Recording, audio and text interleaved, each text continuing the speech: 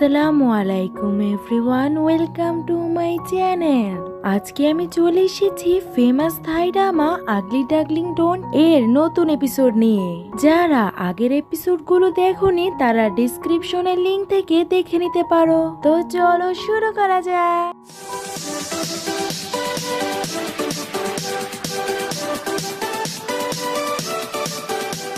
এই এপিসোডের শুরুতেই আমরা জিরো আর মেওনাকে একসাথে দেখি। সত্যিটা জানার পর মেওনা মেন্টেনের সাথে দেখা করতে চায়। জিরো তাকে বলে, রাগ করো না। মেওনা বলে, আমি কেন রাগ হব না? মেন্টেনের জন্য আমি কতগুলো বছর ইডিয়েটের মতো কাটিয়েছি। জিরো বলে আচ্ছা এই কারণেই নি তুমি বক্স পরে ঘুরতে? মেওনা বলে, তুমি তো এখন জেনে গেছো, তাই না? আর মেন্টেনের থেকে আমি লাভ কনফেস করেছিলাম, কিন্তু সে আমাকে আগলে বলেছিল। জিরো এটা শুনে হাসতে থাকে, আর বলে আমি তো প্রতিদিনে গালি খাই, আর তুমি আগলি বলার কারণ এত বছর ডিপ্রেশনের থেকে একটা বক্স পড়তে নিজের চেহারায়। আর আমি যদি তোমার মতো উইক হতাম, তাহলে মানুষের ফালতু কথা শুনে নিজের ফেসেও বক্স পরে ঘুরতাম। তখনই মেওনার কাছে মেন্টেনের কল আসে। মেন্টেন বলে, তুমি আমাকে মনে করছিলে, তাই না? মেওনা বলে, তুমি আমার সাথে কালকে সকালে দেখা করো। এটা শুনে মেন্টেন খুশি হয়, কারণ মেন্টেনের মনে হচ্ছিল কালকে মেওনা তাকে বলবে, সে তাকে লাইক করে। পরের দিন সকালে মেন্টেন রেডি টেডি হয়ে মেওনার বাসায় যায়। আর সে মেওনার হাতে সুইটের জার দেয়। আর মেন্টেন বলে, আমি তোমাকে লাইক করি। মেওনা তার গিফটটা ফিরিয়ে দেয় আর বলে, আমি তোমাকে ঘৃণা করি। সময় সব সময় এক থাকে না। ছোটবেলায় যখন মেওনা তাকে প্রপোজ করেছিল মেন্ডেন তাকে রিজেক্ট করেছিল। আর এখন যখন মেন্ডেন তাকে প্রপোজ করছে মেওনা তাকে রিজেক্ট করে দিয়েছে। মেওনা বলে, আমি সব জেনে গেছি, ওইটা তুমিই ছিলে যে আমাকে আগলি বলে রিজেক্ট করেছিলে। এটা শুনে ম্যান্ডেন চমকে যায় আর বলে, তুমি এটা কীভাবে জেনেছ? মেওনা বলে, এখন ভালো হয়ে লাভ কি? তুমি তো আমাকে ঘৃণা করতে। আর কেনই বা ভালোবাসার নাটক করছ? ম্যান্ডেন বলে, তখন আমি ছোট ছিলাম আর আমার বন্ধুদের বলাতে আমি এটা বলেছিলাম। ওই দিনের পর থেকে আমি এটা গিল্টি ফিল করেছি আর আমি তোমাকে সব জায়গায় খুঁজেছি, কিন্তু আমি তোমাকে পাইনি। আর একদিন আমার তোমার বাবার সাথে দেখা হয়েছিল। উনি আমাকে বলেছিল তোমার ফ্যান হওয়ার জন্য আর সবকিছুকে ঠিক করার জন্য। এটা শুনে মেওনা আরও বেশি রেগে ঘরের ভিতরে যায়। আর তার বাবাকে গিয়ে জিজ্ঞাসা করে, আপনি এমনটা কেন করেছেন? মেওনার বাবা বলে হ্যাঁ আমি এটা করেছি, কারণ আমি তোমাকে ঠিক করতে চেয়েছিলাম, কারণ আমার তোমার জন্য চিন্তা হতো। মেওনা বলে, আপনি ওই পার্সনটার সাহায্য নিয়েছেন যে আমাকে আকলি বলেছিল যে ওইটার জন্য দায়ী ছিল। এখন সে ভালো সেজে ঘুরছে। বাবা, আমি আপনাকে ঘৃণা করি আর আমি সবাইকে ঘৃণা করি। আর মেওনা ইমোশনাল হয়ে ওখান থেকে চলে যায়। মেওনার বাবা চিন্তিত ছিল আর ভাবছিল, উনি মেওনাকে কীভাবে বুঝাবে? মেওনা যখন একটা জায়গায় মন খারাপ করে বসে থাকে, তখনই ওখানে জিরো আসে। আর তাকে বুঝায়, ড্যাড আর ম্যান্ডেন যা করেছে তোমার ভালোর জন্যই করেছে। তুমি তোমার বাবাকে ঘৃণা করো না, তারা দুজন এই ব্যাপারটা নিয়ে লজ্জিত। তুমি তাদেরকে ক্ষমা করে দাও আর সামনে এগো। আর জিরো তার হাতরা ধরে তার বাবার কাছে নিয়ে যাচ্ছিল। মেওনা আর জিরো যখন বাসায় পৌঁছায়, তখন তারা দেখে ওখানে মেন্টেনও ছিল। মেন্টেন জিরোকে দেখে রেগে যায় আর তার সাথে ফাইট করা শুরু করে দেয়। মেওনা তাদের দুজনকে থামায়। মেন্টেন বলে, মেওনা, তুমি ওই খারাপ ছেলেকে বিশ্বাস করছ, কিন্তু আমাকে না। মেওনা বলে হ্যাঁ আমার বিশ্বাস আছে তার উপরে, কারণ সে আমাকে ধোকা তো দেয়নি। মেন্টেন বলে, আমি সবকিছু ঠিক করতে চেয়েছিলাম, তাই আমি এমনটা করেছি। মেওনা বলে আচ্ছা তো যাও এখান থেকে, আর সারা জীবন এমনটাই করতে থাকো। খুনি দুইটা ছেলে বাইকে ওখানে আসে আর মেওনার গায়ে এসিড ফেলতে যায়। কিন্তু জিরো তাকে বাঁচিয়ে নিজের গায়ে এসিডটা নিয়ে নেয়। আর মেন্টেন বাইকটাকে ফলো করছিল। সে দৌড়াচ্ছিলই তখনই একটা গাড়ি এসে মেন্টেনকে ধাক্কা মেরে দেয়। সে নিচে পড়ে যায় আর তার মুখ থেকে রক্ত বের হচ্ছিল। একদিকে জিরো ইনজার্ড ছিল আর অন্যদিকে মেন্টেনের অ্যাক্সিডেন্ট হয়ে গেছিল। জিরো আর ম্যান্ডেন হসপিটালে অ্যাডমিট ছিল।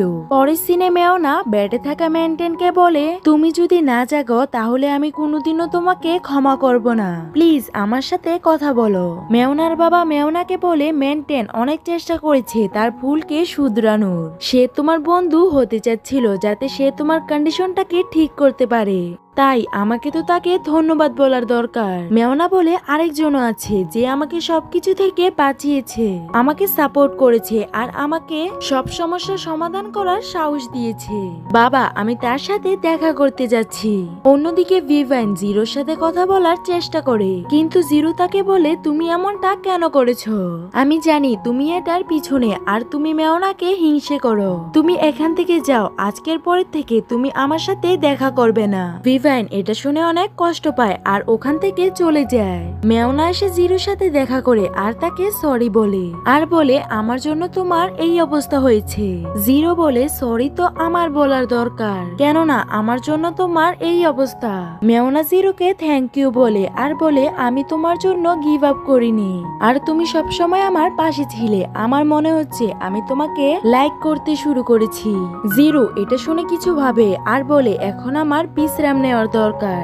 মেওনা যায় ম্যান্ডেনের কাছে আর ম্যান্ডেনও জেগে ওঠে। আর ম্যান্ডেন বলে, আমি শাস্তি পাচ্ছি, যেটা আমি তোমার সাথে করেছিলাম। আমাকে ক্ষমা করে দাও, আমি সত্যিই তোমাকে পছন্দ করি। আর আমি তোমার জবাবের অপেক্ষায় থাকব।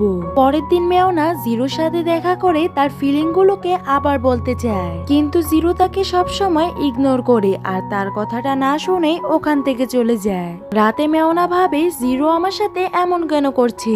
নাকি সে আমাকে পছন্দই করে না। পরের দিন ম্যান্ডেন স্কুলে সবার সামনে মেওনাকে প্রপোজ করার জন্য সবকিছু রেডি করে নেয়। ম্যান্ডেন সবাইকে বলে, আজকে আমি আমার লাভ কনফেস করতে যাচ্ছি।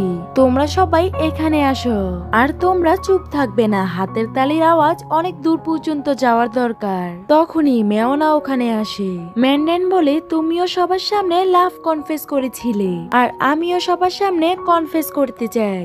লেডিস এন্ড জেন্টেলম্যান সবাই শোনো, আমি মেওনাকে ভালোবাসি। এটা শুনে সবাই তালি বাজাচ্ছিল। ওজন মেওনাকে বলে, না বলো না, তার মতো ভালো ছেলে তুমি আর পাবে না। ম্যান্ডেন স্টেজ থেকে নিচে নেমে মেওনাকে জিজ্ঞাসা করে, তোমার জবাব কি? মেওনা ভাবে কীভাবে ম্যান্ডেন তাকে সাপোর্ট করেছিল। মেওনা ভাবছিল ম্যান্টেনকে কি জবাব দিবে? মেওনা অনেকক্ষণ বাবার পরে ম্যান্টেনকে বলে, সরি, আমরা শুধু বন্ধুই। আমি প্রথমে তোমাকে লাইক করতাম। কিন্তু এখন আমার এমনটা ফিল হয় না। আমাকে ক্ষমা করে দাও মেওনা তাকে জড়িয়ে ধরে। ম্যান্ডেন বলে, এখন আমরা একে অপরের পাওনাদার না। সবকিছু শোধ হয়ে গেছে। এটা বলে ম্যান্ডেন কষ্ট পেয়ে ওখান থেকে চলে যায়। মেওনাও স্যাড ফিল করে। যখন সে ওখান থেকে যাচ্ছিল, তখন দুইটা ছেলে তাকে থামায়। তখনই জিরোর আওয়াজ আসে, তুমি কোথাও যেতে পারবে না। আমি যা বলব, তুমি শুনবে।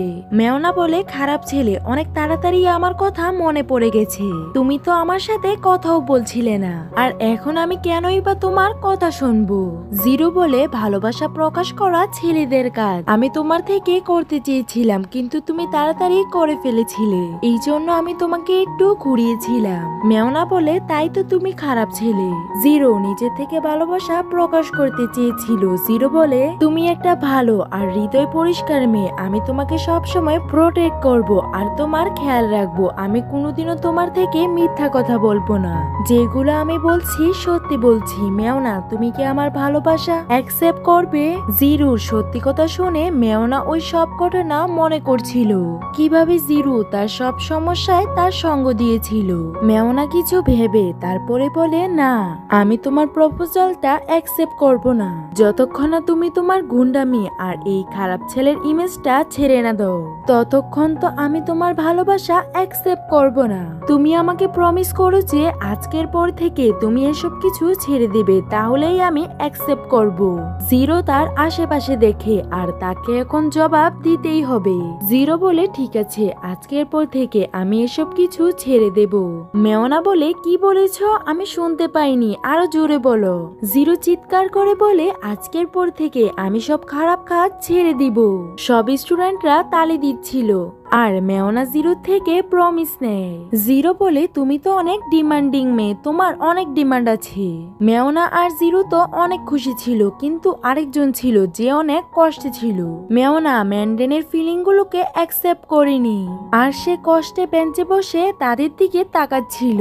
আর এখানেই আমাদের এই এপিসোড শেষ হয়।